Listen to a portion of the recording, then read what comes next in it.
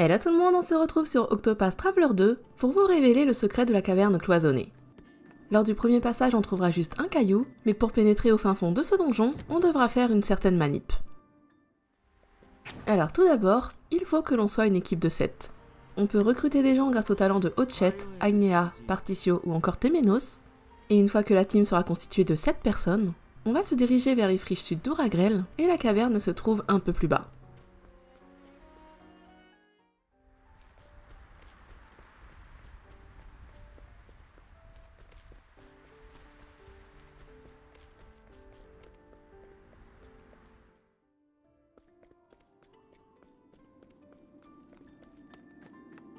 Et cette fois-ci, lorsqu'on traverse le pont, il va s'écrouler sous le poids d'autant de monde.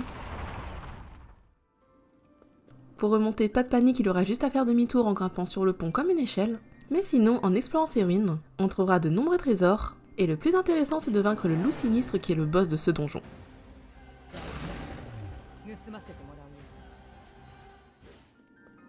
Et en plus, une fois qu'on l'aura vaincu, il pourra apparaître en tant que mob, et on pourra même le capturer avec Hotchet.